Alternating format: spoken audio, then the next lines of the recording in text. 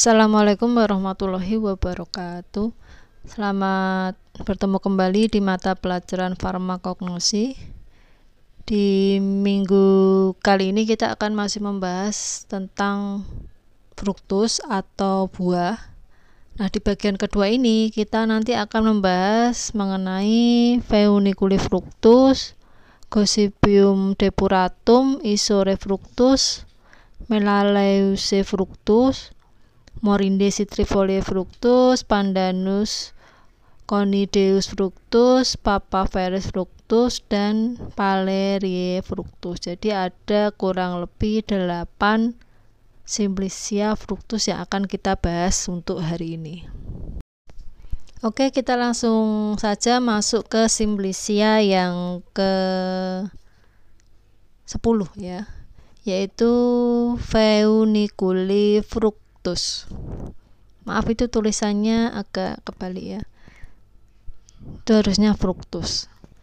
Nah Feuniculi fructus ini memiliki nama lain buah adas dan berasal dari tanaman Feuniculum vulgare keluarganya Apiaceae Kemudian buah das ini memiliki zat berkhasiat utama berupa minyak asiri di mana mengandung anetol, fenkon. Nah, di sini fenkonnya ini memberikan rasa pahit.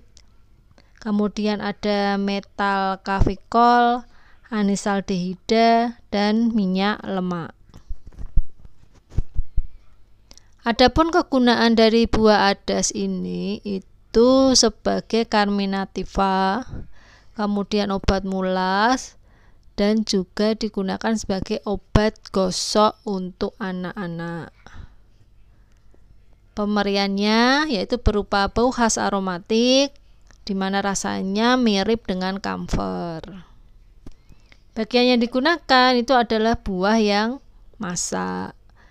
Kemudian buah das ini sediaan yang dihasilkan berupa oleum feuniculi atau minyak adas. Waktu panen buah adas itu dilakukan pada waktu buah hampir masak, yaitu dilakukan dengan memotong batang tanaman.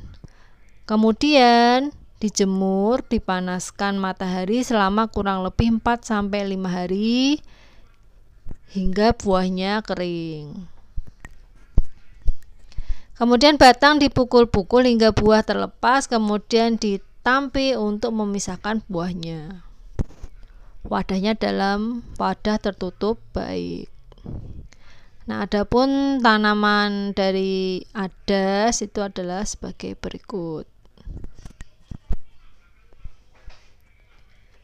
Kemudian kita lanjut yang ke 11 yaitu ada Gossypium depuratum.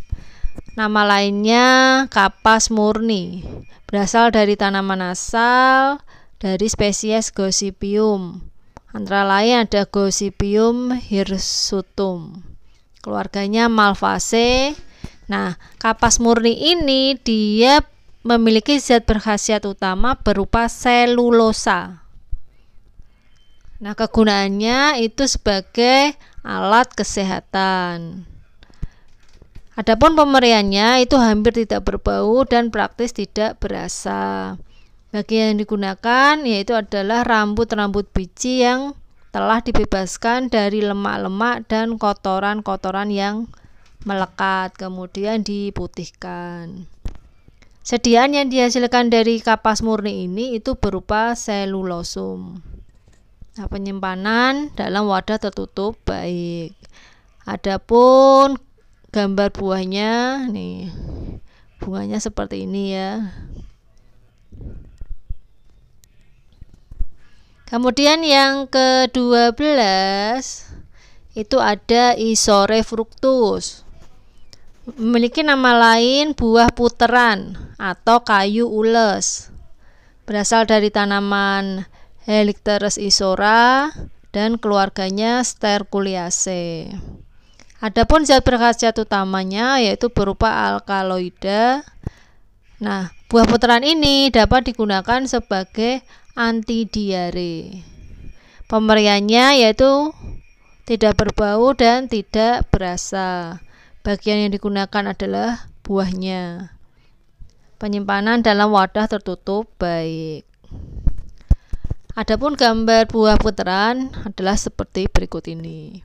Nah, dia agak seperti mengulir ya. Nah, jadi bisa diidentifikasi dengan mudah ya. Namanya aja buah puterannya. Ini kayak diputer buahnya.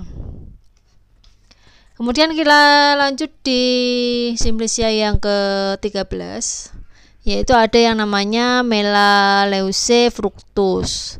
Memiliki nama lain buah kayu putih. Nah biasa kita kenalkan minyak kayu putih ya daunnya atau batangnya nah ini yang dipakai adalah buah kayu putih Nama tanaman asal yaitu Melaleuca leucadendra, keluarganya Myrtaceae. Zat berkhasiat utamanya yaitu berupa minyak atsiri. Nah, adapun kegunaan dari buah kayu putih ini adalah sebagai carminativa. Pemberiannya yaitu berupa bau khas, simplicia kering itu tidak berasa, di mana simplicia, simplicia basahnya itu agak pedas. Bagian yang digunakan tentunya adalah buah, tapi berikut dasar bunganya. Adapun waktu panen yang baik untuk tanaman ini yaitu setelah tanaman berumur 3 sampai 4 tahun. Untuk tujuan panen buahnya ya. Itu dipanen berumur 3 sampai 4 tahun. Kemudian tanaman ini tidak dipangkas setiap tahun agar tanaman sempat berbunga dan berbuah. Adapun penyimpanannya dalam wadah tertutup baik. Nah, buah kayu putih bentuknya seperti ini. Jika diperbesar ya. Nah, seperti lada hitam. Kita lanjut yang ke-14, ada Morinde citrifolie fructus. Memiliki nama lain yaitu mengkudu atau pace atau buah noni. Berasal dari tanaman asal Morinda citrifolia, keluarganya Rubiaceae. Nah, adapun zat berkhasiat yang terdapat dalam buah mengkudu atau buah pace ini itu ada morindin dan morindon. Ini bisa di mudah dihafalkan ya. Kegunaannya yaitu sebagai anti diabetes, kemudian anti hipertensi, roboransia, dan ekspektoransia. Pemberiannya rasa dan baunya tajam, menyengat ya. Kalian pasti sudah tahu ya yang namanya buah pace itu baunya nggak enak. Nah, bagian yang digunakan adalah buahnya. Penyimpanan dalam wadah tertutup baik. Nah, buahnya adalah seperti ini. Kalian sudah banyak yang kenal dengan buah pace ini. Kemudian kita lanjut yang ke-15 yaitu ada Pandanus conideus fructus. Memiliki nama lain Papuan red fruit atau buah merah. Berasal dari tanaman Pandanus conideus, keluarganya Pandanaceae. Nah, pandan apa ini buah merah ini itu memiliki zat berkhasiat utama berupa beta karotin, tokoferol, asam oleat, asam linoleat dan dekanoat. Adapun kegunaannya yaitu sebagai obat tekanan darah tinggi. Kemudian bisa digunakan sebagai obat asam urat, anti kolesterol, anti kanker, tumor dan bahkan bisa untuk mengobati HIV. Ini beberapa tahun yang lalu buah ini sangat terkenal, booming ya. Kemudian pemberian dari buah merah ini rasanya seperti minyak.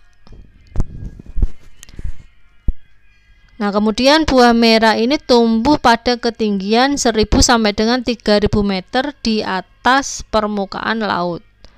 bentuk buahnya itu hampir mirip dengan nangka, tapi panjang. Panjangnya sampai kurang lebih 1,5 meter. Nah, biasanya buah merah ini itu ditemukan di hutan-hutan di daerah Papua. Nah, paling banyak itu di daerah Jayawijaya. Jadi buah merah ini asalnya dari timur ya, dari Papua. Adapun buahnya adalah sebagai berikut, ini besar ya. Nah, hampir mirip dengan nangka tapi besar. Kemudian yang selanjutnya ada yang namanya Papaveris fructus atau buah opium. Disebut juga buah candu. Berasal dari tanaman Papaver somniferum. Keluarganya Papaveraceae. Buah opium ini memiliki zat berkhasiat utama berupa morfin kadar morfinnya itu 0,1 sampai 0,3 persen. Kemudian terdapat di dalamnya sedikit kodein, papaverin, narkotin, asam nakonat. Di mana bijinya tidak mengandung alkaloid tetapi mengandung 5% minyak yang dapat mengering. Nah, dalam buah opium ini itu hampir semuanya ini mengandung narkotik ya. Zat-zatnya itu mengandung narkotik ya.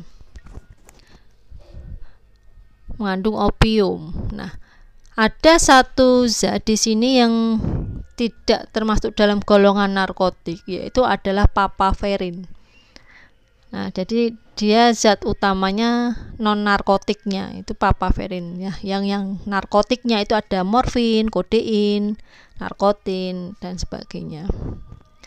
Adapun kegunaan dari buah opium ini atau buah candu ini yaitu sebagai sedatif ringan dan sebagai obat batuk. Pemberiannya tidak berbau, rasa agak pahit. Bagian yang digunakan itu adalah buahnya. Penyimpanan dalam wadah tertutup baik. Nah, adapun buah opium gambarnya adalah sebagai berikut. Meskipun buahnya yang dipakai ya utamanya yang digunakan nanti itu adalah getah dari buah tersebut ya.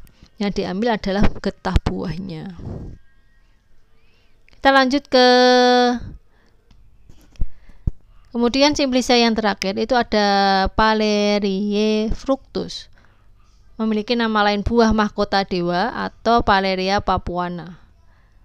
Nah, buah mahkota dewa ini berasal dari tanaman Paleria macrocarpa dan berasal dari keluarga Timelaceae.